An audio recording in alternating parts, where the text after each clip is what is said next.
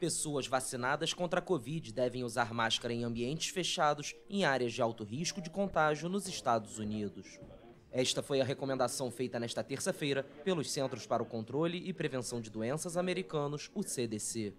A decisão foi tomada frente ao aumento preocupante de casos da variante Delta por todo o país. De acordo com o órgão, embora as vacinas sejam eficazes contra a cepa, novos dados indicam que, em ocasiões raras, algumas pessoas vacinadas podem transmitir o vírus. Em Washington, a porta-voz da Casa Branca, Jen Psaki, falou sobre a recomendação.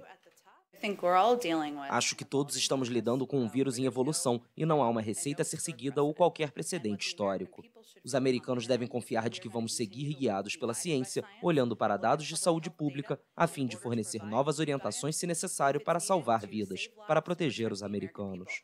Quando o presidente fez comentários em maio, estávamos lidando com uma cepa muito diferente do vírus de hoje. A Delta é mais transmissível e está se espalhando muito mais rápido. Ela era quase inexistente nos Estados Unidos em maio.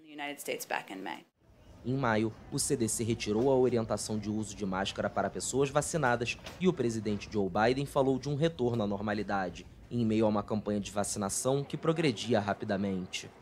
Mas dados recentes indicam que grande parte do sul do país experimenta um índice de transmissão elevado, enquanto zonas com altas taxas de vacinação no Nordeste apresentam uma transmissão comunitária moderada.